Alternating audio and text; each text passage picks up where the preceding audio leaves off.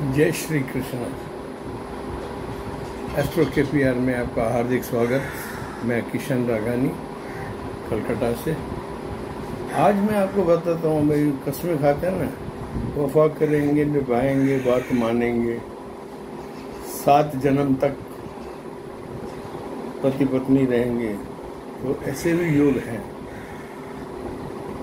मैं आपको अपनी बुक से ये पढ़ के सुनाता हूँ, जो कि मुझे ज्ञात हुआ है और इट इज़ टेस्टेड मैंने देखा भी है कुंडलियों में। या बीस साल हो गए, कई कुंडलियाँ देखी हैं, कई उतार चढ़ाव देखे हैं।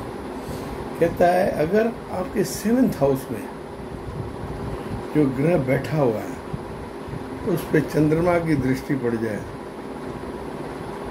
तो ये सात जन्म का साथ होता है। पहली बार प्राइम कंसर्न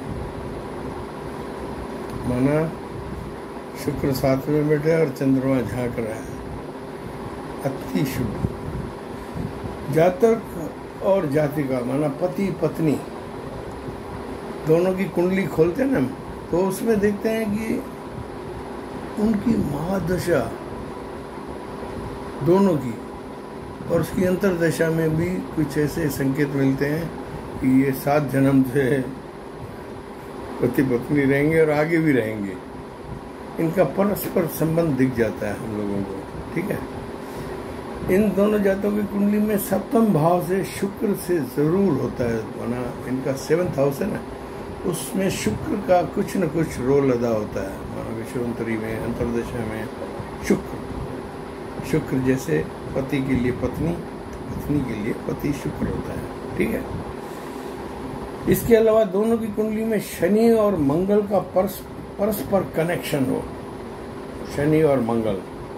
का परस्पर कनेक्शन हो तो निश्चित ही वह कुछ संज्ञान आपको सात जन्म तक एक दूसरे का जीवन साथी बना सकता है।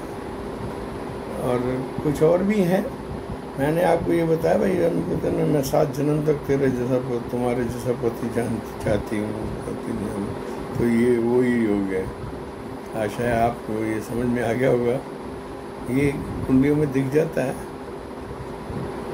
इससे ये मैं इतना ये छोटा संज्ञान पूर्ण करता हूँ। हरे राम कृष्ण।